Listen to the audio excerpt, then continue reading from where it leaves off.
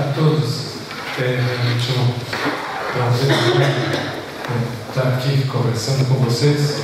Queria agradecer aos professores Omar, da Camãe, pelo convite e falar desse tema que eu acho que é um tema é, bastante atual e que tem é, sido um tema importante para o Departamento de Medicina Preventiva, mas eu acho que é um tema importante também para a Faculdade de Medicina e para todas as áreas.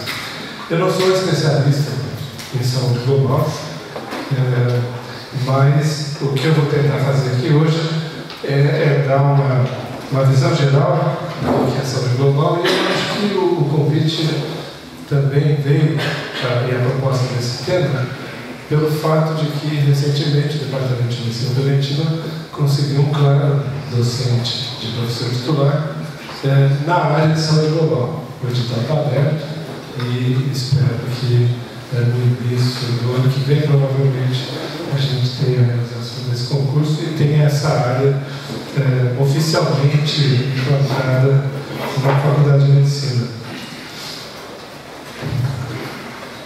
É, é, é, saúde global é uma área que está tendo um reconhecimento e uma relevância crescente.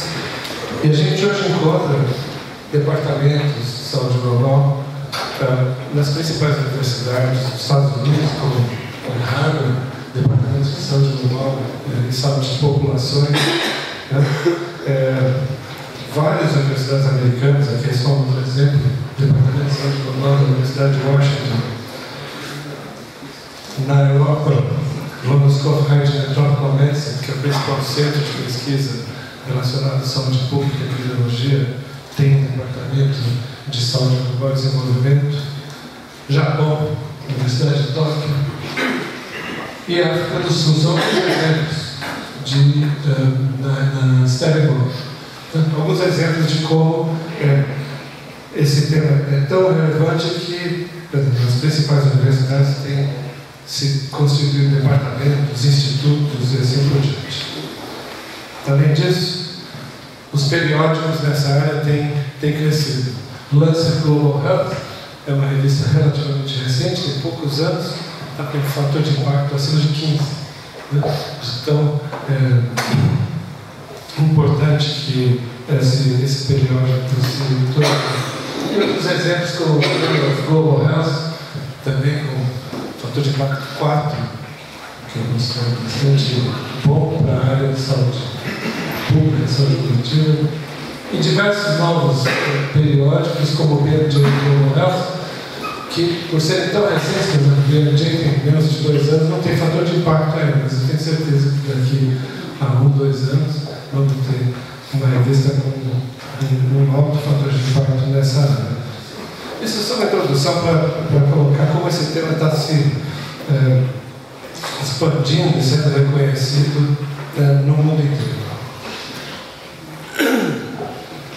O, o termo Global Health, ele já tem talvez um pouco mais de 20 anos que vem sendo usado, e ele inicia uh, com foco principalmente em uh, doenças transmissíveis. Esse aqui é um, é um, de um artigo publicado na Science em 2003, há 15 anos, uh, onde se colocaram as, as principais metas do que foi chamado uh, Grand Challenges in Global Health. Fundação Bill e Melinda Gates deu um volume considerável de dinheiro para abrir um programa é, em, em, saúde global. E a gente vê aqui que, por exemplo, aqui é tudo voltado para esses transmissíveis. Melhorar a vacinação de crianças, criar novas vacinas, controlar ah, insetos que transmitem doenças e assim por diante. É, infecções crônicas, essencialmente a área de doenças transmissíveis. Mas isso tem se expandido e a gente encontra várias definições de saúde global atualmente. Essa é uma definição bastante extensa da Organização Pan-Americana da Saúde.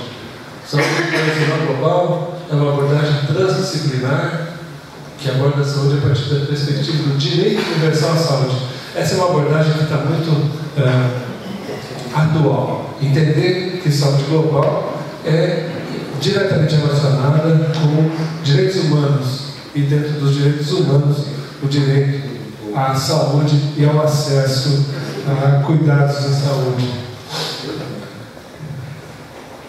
Mas tem definições mais sucintas que não fogem muito disso, como essa uh, dada por Coleman em 2009.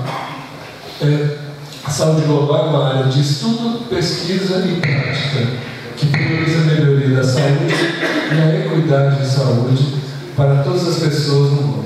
Eu gosto muito dessa definição.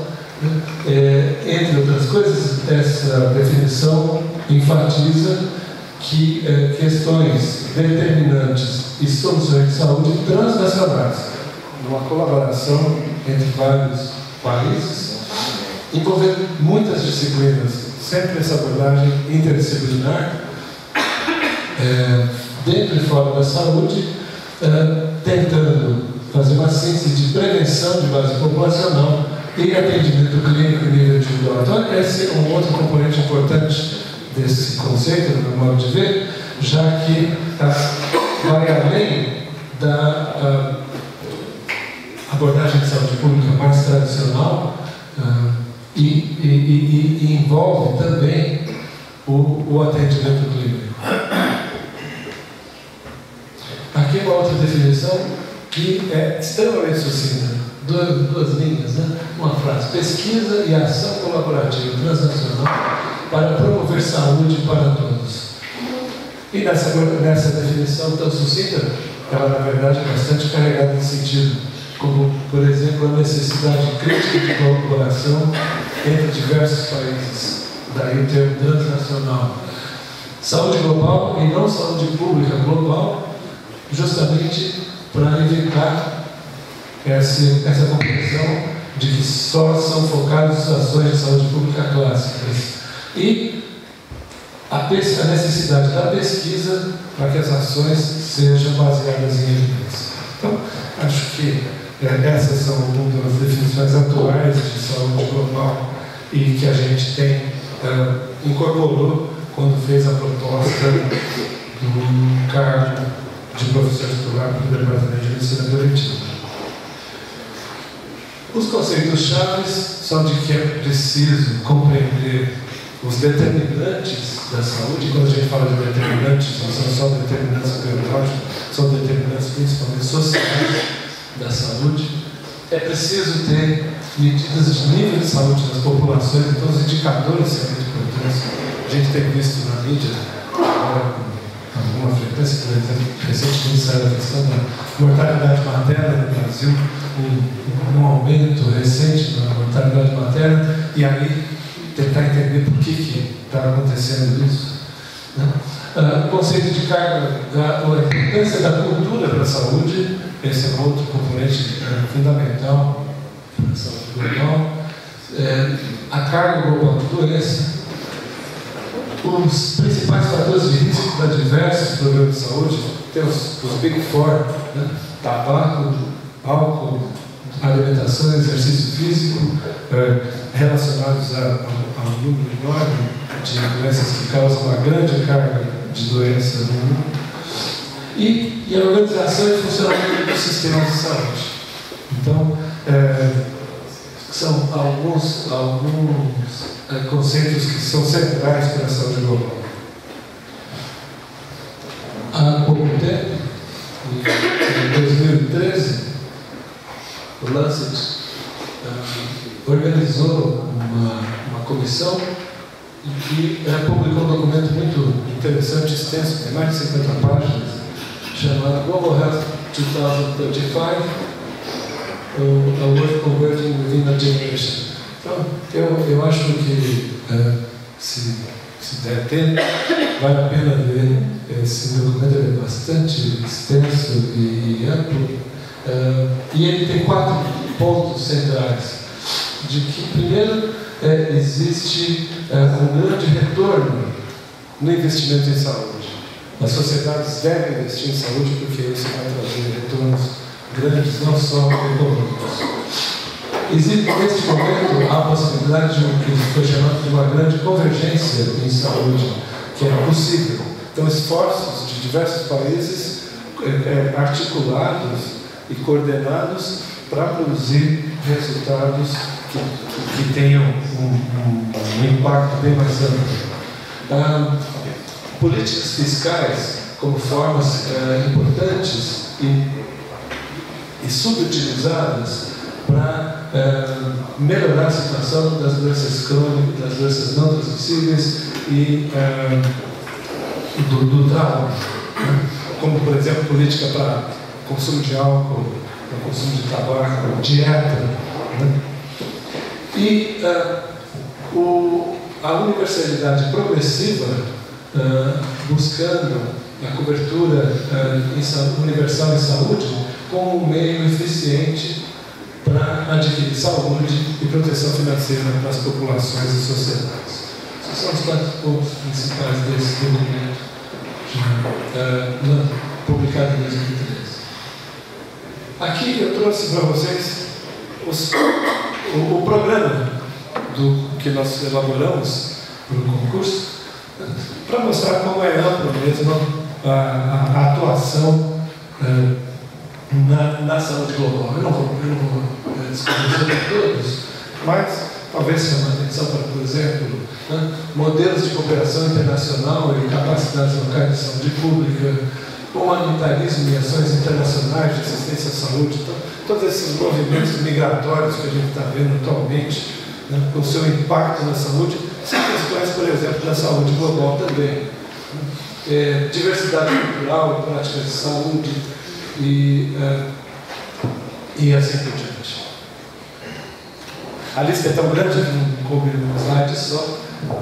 É, entre, as, entre, os temas saúde mental global, eu vou daqui a pouco falar um pouquinho, que é a área que eu é, trabalho, agências internacionais de saúde global, direitos humanos e da Alguns dos exemplos do programa, que é bastante extenso, a gente pode fazer. E aqui, para concluir, eu trago dois exemplos da minha prática de saúde mental O primeiro é a participação, tive a oportunidade de, de participar nesse consórcio europeu uh, de redes de pesquisa em esquizofrenia, estudando interações Gênio Ambiente. É um consórcio que eu achei muito, muito interessante, aqui a gente tem um mapa dos países envolvidos na Europa, aqui China, Austrália e, e o Brasil fazendo parte dessa rede. Foi, eu acho que é interessante que isso aqui foi possível a partir da crise econômica de 2008, veio a crise e a União Europeia falou para os pesquisadores: nós só vamos dar um financiamento, vocês tratem de trabalhar juntos, vocês tratem de se entender. Então, essa, essa rede aqui é formada por mais de 200 pesquisadores em mais de 50 universidades europeias e foi uma experiência, é, para mim, muito bacana é, poder trabalhar nessa rede tão, tão ampla de colaboração. Aqui a gente trabalhou né, em colaboração com colegas da Faculdade de Medicina de Ribeirão Preto. O estudo no Brasil nós demos o nome de estudo, para lembrar Ribeirão, né? é, Spectrum Translational Research. A pesquisa foi desenvolvida é, em toda a região administrativa de Ribeirão Preto, envolvendo 26 municípios, que têm perfis muito, muito distintos entre eles, envolveu a integração de vários aspectos, como a epidemiologia, genética, neuropsicologia, neuroimagem, imunologia e neurofisiologia. E agora que a gente consegue ter, começar a ter os primeiros é, resultados. Esse, esse artigo foi publicado no início desse ano no Jana Sarcadia, uma revista uh, uma das mais importantes da área da, da psiquiatria. Esse, esse, esse trabalho aqui dá o resultado, os primeiros resultados de incidência de primeiro episódio psicótico em 16 países e em 16 centros de 6 países. A maioria são, são 15 centros europeus e a gente aqui no Brasil colaborando né, para esse trabalho. E, o estudo mostra que a incidência desse tipo de problema psiquiátrico é bastante variável e na Europa ela aumenta conforme aumenta o grau de urbanização. Ela é bem maior nos grandes centros urbanos europeus que nas regiões, nas pequenas cidades e nas áreas urbanas, é, rurais. Já na região de Ribeirão Preto, nós observamos uma tendência é, contrária. A incidência foi menor em Ribeirão, que tem a metade da população da região, e maior nos municípios vizinhos, que têm populações muito menores e também têm condições socioeconômicas muito piores do que Ribeirão Preto. Então, uma das coisas importantes desse tipo de abordagem é ver que alguns fatores de risco, ou a forma como essas doenças podem acontecer nas populações, varia de área em, em distintas áreas uh, do, do mundo. Então, se a gente só usar o que se estuda na Europa, por exemplo, talvez a gente não consiga compreender exatamente o que está acontecendo com a população brasileira, com a população de outros países de renda média e baixa. E o outro exemplo que eu trago aqui é o estudo financiado pelo National Institute of Mental Health. Eu fui coordenador desse estudo, a gente chama de Latin American Technology Innovation Network for Mental Health, envolvendo aqui na Faculdade de Medicina da Universidade de São Paulo, King's College, London, a Universidade Peruana Caetano Heredia e a Northwestern University de Chicago, nos Estados Unidos.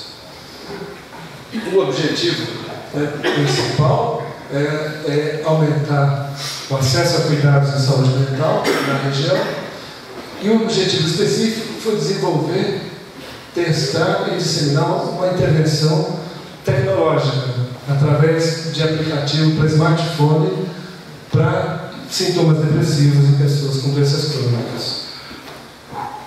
Então, aqui a gente tem um pouco a cara de como isso envolveu distintos países da América Latina, aqui nos Estados Unidos, a gente tem lá para cima né, o, Reino Unido. Esse é o, a cara do aplicativo. Aqui é um painel de, de internet onde auxiliares de enfermagem de saúde da família aqui no Brasil podiam ter acesso para acompanhar o progresso dos pacientes em termos de uso do, do aplicativo. Eu posso dar mais detalhes depois, se interessar. E nós fizemos dois grandes estudos, um em São Paulo, com 180 participantes, terminamos o, o trabalho agora em, em março, envolvendo 20 unidades de estratégia da família. Em Lima, outro ensaio clínico com 440 participantes em sete serviços secundários de saúde. Esses são os colegas com quem eu, eu trabalhei, a equipe, que é uma equipe bastante grande. E, e mais um exemplo de como a gente tem tentado é, trabalhar e contribuir e participar né, de uma forma geral desse, desse tema da, da saúde global. Eu vou é, parar aqui e abrir para a gente poder conversar um pouco, se puder. Eu agradeço muito a atenção de vocês. Muito obrigado.